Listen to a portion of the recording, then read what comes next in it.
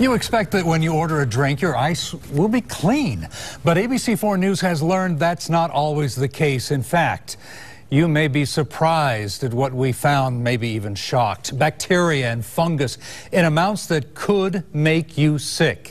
And get this, some owners don't even know what's going on. Here's ABC4's Brian Carlson's investigation Dirty Ice.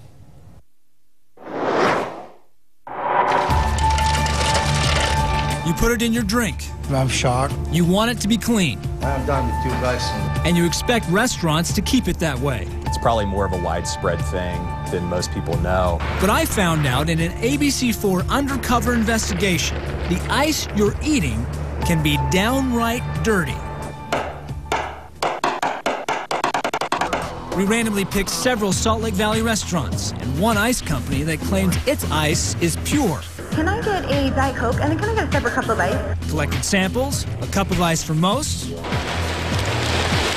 and a bag from Summit Ice. Marked and sealed, the samples according to procedures given us by the lab.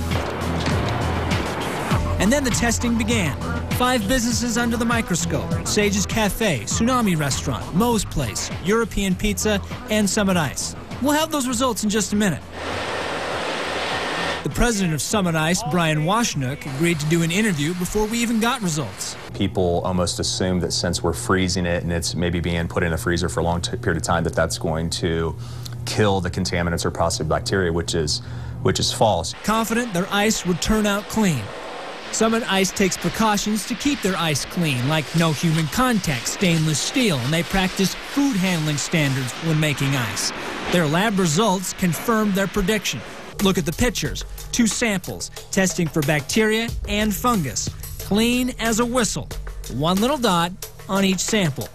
You can't say the same for the other businesses in our investigation. The ice machines probably don't get cleaned as frequently as they should, so they can potentially be bacteria traps. And neither can we.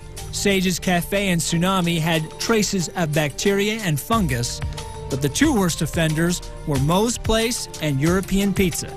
We wanted to find out why, so we took our cameras in and asked the tough questions. I'm Brian with Channel 4. First, Moe's Place.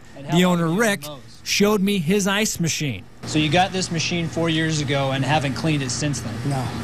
Then we showed him these pictures of the bacteria and fungus in his ice, called Pseudomonas aeruginosa, or water bug. According to the health department, it can make the average person sick and potentially cause death to someone with a weakened immune system. He's been serving that to customers. I drink more than anybody, so I feel terrible about it. But because of our investigation, Rick changed his ways. I didn't know it was a problem. I do now. It's clean and it'll be consistently clean now. The other worst offender? European Pizza. You're the manager? Yes. Are you also the owner? Yes. I showed him these photos. Fungus thriving on the sample of his ice. Remember the sample from Summit Ice? Clean? Quite a difference. This tested with fungus that was too numerous to count. Do you think that's healthy to be serving to customers? No, but I don't know what's caused that. He showed me the ice machine, but still had no answers about why his ice is dirty. You don't have any explanation. No, I don't. That's the same answer I heard over and over again. I really don't know. Until he kicked us out. I'm done with you guys. So, how can you avoid dirty ice like we found in our investigation? There are a couple things you can do.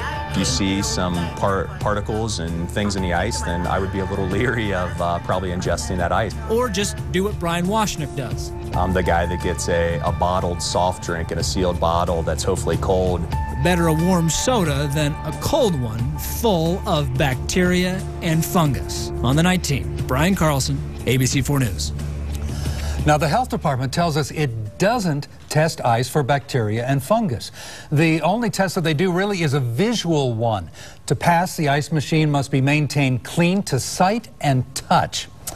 Well, we just weren't satisfied with that answer. So, tomorrow, we plan to ask the health department what must be done to make sure that the ice in your drink is safe. Look for that important follow up tomorrow night, right here at 10 o'clock. Meanwhile, in case you want the complete list of the restaurants that we tested, we invite you to go to our website, abc4.com, and look for the Dirty Ice story. It's in the orange box.